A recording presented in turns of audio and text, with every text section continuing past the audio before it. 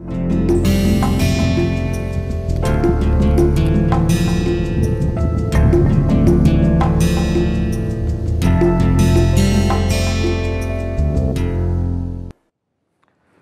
uh, we are back again, but this is the last week.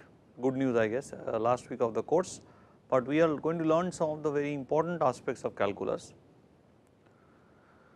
One which is called the infinite series which we will have 3 classes followed by multiple integrals. So, we will start with infinite series.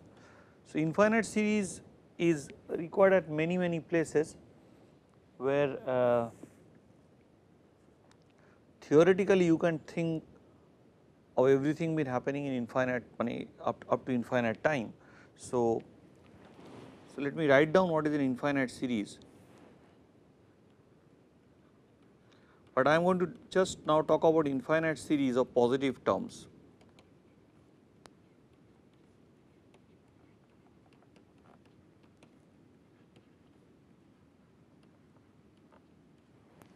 infinite series of positive terms. So, it is written like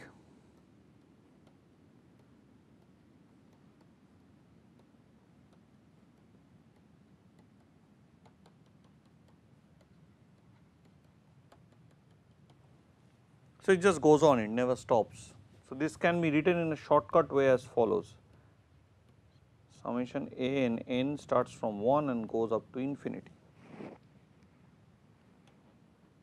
The symbol infinity does not mean some number, of course infinity is not a number, it is uh, a symbolism which says that the sum does not stop, does not end, it is not a finite sum that is all. Now is there any meaning to the sum of the infinite series?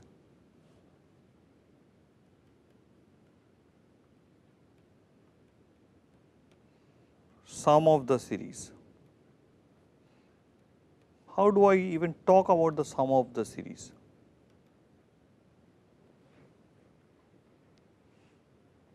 Okay. Now, let us note something. How do I actually approximate this sum? If I take just A1, then it is extremely crude approximation of the whole sum, because there is positive term. So, the whole term if, if there is something like a sum, it must be bigger than all A1 then I put A1 plus A2 slightly better approximation A1 plus A2 plus A3 slightly better approximation. So, essentially we are creating an increasing sequence. So, I will take a S1 is equal to A1, S2 is equal to A1 and Sn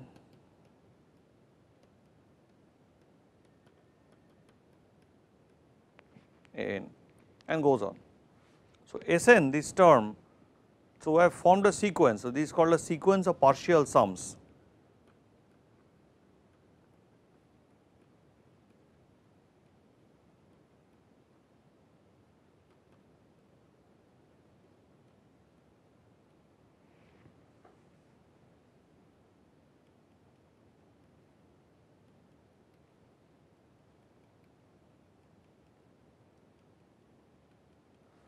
So, if I look at this series because these are positive terms S2 is bigger than S1, S1 is bigger than S2, S3 is bigger than S2 and so on and so forth. So, basically it is like this S1 is smaller than S2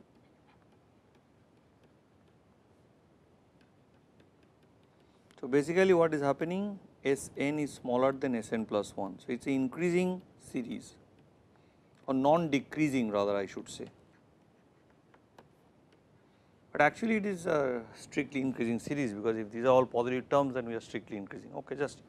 So now if this series is bounded above if Sn is bounded above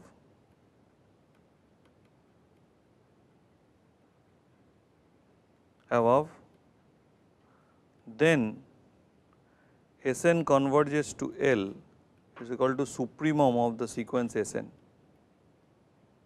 so, what we were telling is that now if Sn goes to L where L should be the supremum and Sn will go to L because if Sn is because Sn is bounded above if Sn is bounded above then we define this L as the sum of the series essentially some people want to call it a limiting sum also. Does not matter it is a limiting sum if you say in some sense, but this is the sum of the series. This is what is defined as the sum of the series and we have to keep that in mind Uh, we have to be very careful about that. So, when there is a sum or the sequence of partial sums converge. Of course, if the sequence of partial sums are bounded above they will converge. So, if the and if the if this thing whole thing converges then the sequence of partial sum must be bounded above. The sequence of if the sequence of partial sum converges and if there is a sum of the series then we say that the series converges. If Sn converges we say that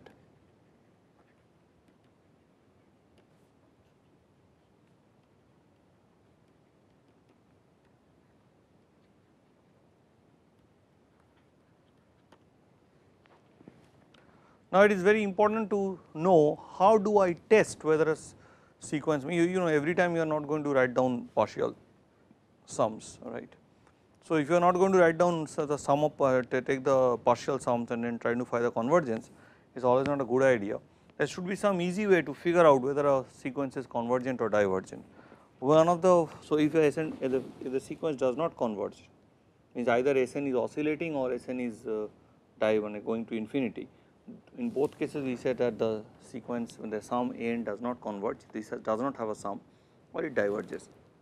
So, it is important to now understand that there must be some ways to easily determine whether this sum n has a is has a this summation a n has a sum or not or whether it converges or not. So, first one of the easiest test is called the comparison test. This comparison test only is working for series of positive terms, it cannot work for other things or series of non-negative terms if you want to say. So, if for some n naught element of n we have a n less than equal to b n for all n bigger than equal to n naught and summation b n converges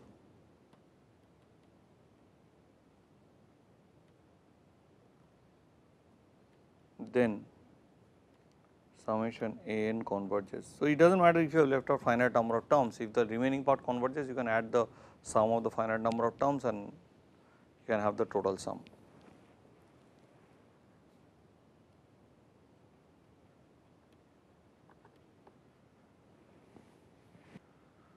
Now, for example, consider this famous geometric series.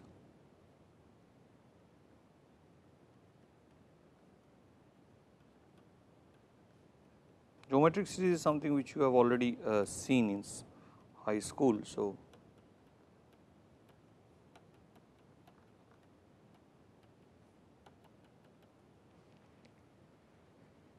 so you can understand that Sn here must be less than 2, it does not matter. Sn should be always strictly less than 2 for all n. So, here Sn is always less than 2. So, you see immediately you have you see in this very simple case Sn the sequence is bounded above and so you can immediately say it converges. Of course, I leave it to you to decide that whether you, but this for example this one can be used as a sequence Bn to show something else is convergent. A second one is the following if same thing if for some n naught element of n we have a n greater than equal to b n for all n bigger than n naught and summation b n diverges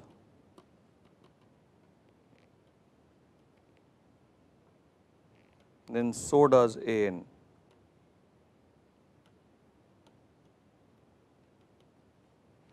See, we will uh, now give a proof. Use, you, we will use this, for example, we will use this idea to prove that if I will show, we will show that the harmonic series, which is consisting of the following terms 1 plus half plus one third plus one fourth.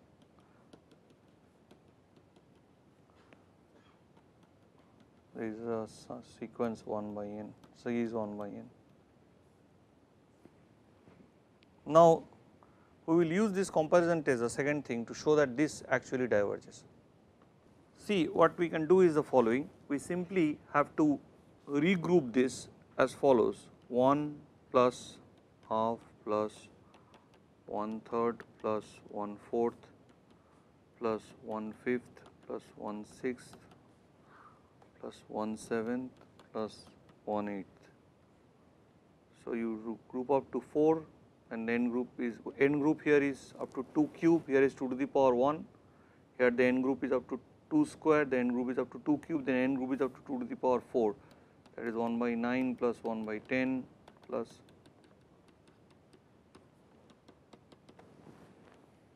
So, if you look at this what does this become? So, this is become bigger than 1 plus half plus you see one third is bigger than one fourth. So, it is one fourth plus one fourth half. So, one fifth is bigger than one eighth, one sixth is bigger than one eighth, one seventh is bigger than one eighth. This is one eighth. So, 4 times one eighth is again half. This whole thing is greater than half. And similarly, this is also bigger than half.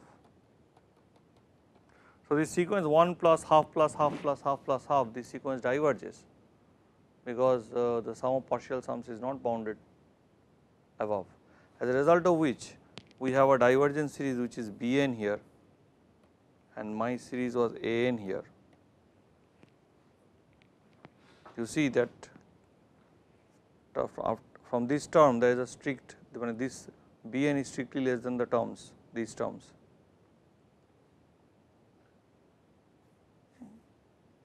So, basically eh, immediately you see I have a sequence Bn and this Bn is converging. So, by this comparison methodology, so I basically regrouped basically I have written okay instead of writing this sequence I am writing this sequence I am writing this sum. So, I am telling that now what I am telling that this is the sequence now 1 the next sequence is next term is these are series. So, first is term is 1 then the term is half then term is 1 third plus 1 fourth this. So, each term so this is one term this is one term this is one term of the rearranged series. Here rearrangement does not make a difference because these are all positive terms. So, here you see this term is bigger than half, this term is bigger than half, this term is bigger than half so and so you have a sequence and which is showing that this sequence is convergent or divergent and this actually should be equal to this sequence. So, this sequence itself is also divergent. So, that is a little application of those ideas. There is something called integral test which I do not want to explain to you because that would get, get you into some sort of uh, more detailed things. There are several uh, comparison tests which comes one is called the limit comparison test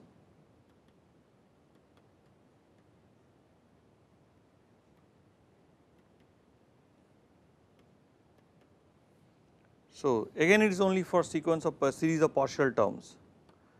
If you have limit of n by bn equal to c n tends to infinity and c is strictly bigger than 0, then summation a n and summation b n converge and diverge together.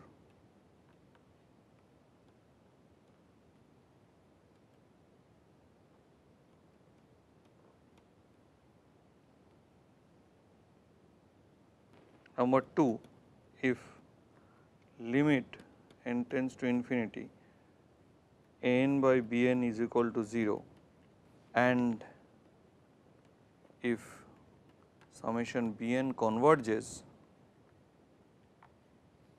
then an is then summation an converges. So, you can use the limit comparison test right. Given given a series you can construct another series bn and do the ratios an by bn right?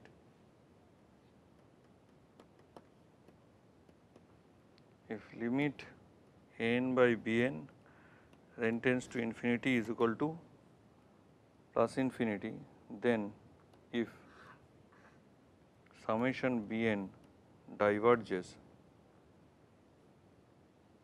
then summation An also diverges.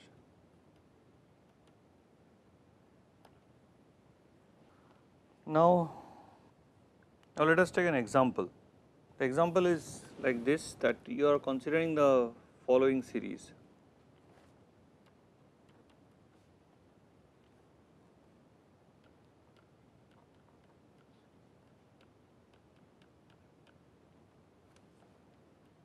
So, each term, so if, if I put n equal to 1, it is 3 by 4, then the second term is 5 by 9 and so on and so forth.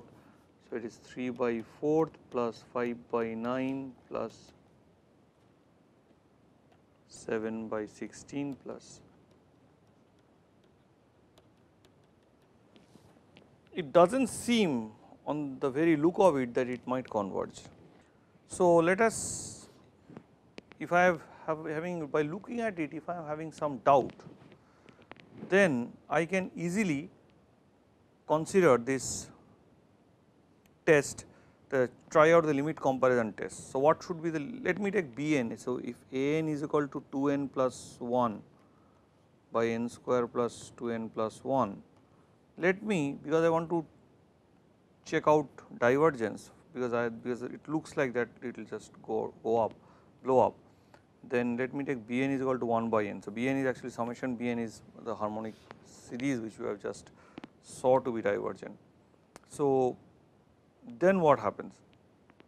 Because what happens you see that if you have why, why I am suspecting this just observe the following for n very large n square will dominate 2 n plus 1. So, it is something like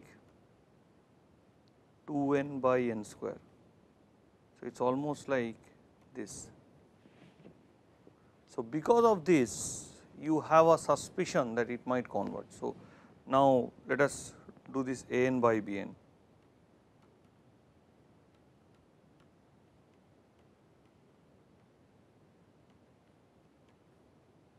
One by n. A n is uh, 1 by n. So, n will go to the top. So, it will become 2 n square plus n by n square plus 2 n plus 1. So, you divide by n, here you divide by n, so it will become 1 by n, here it will become, so you divide by n, it, oh sorry divide by n square, then it will become 1 by n, then this sorry limit n tends to infinity, limit n tends to infinity, then it will become 1 plus 2 by n plus 1 by n square. So, the limit actually gives me 2. So, the limit is C which is strictly bigger than 0. So, which means a n and b n both diverge and converge together, but summation b n already diverges. So, we can now conclude that a n diverges. So, we end the very simple te test procedures here. Uh, we will uh, come to our other test uh, how to do some important tests like the ratio test and the root test in the next uh, lecture. So, we will talk about root test and ratio test in the next lecture, give you some idea of a series which is not formed of just positive terms as a plus minus alternating sign that is very basic idea we will give and then in the last one we will talk about power series and largely the power series generated by the Taylor series rather the Maclaurin series. Thank you very much.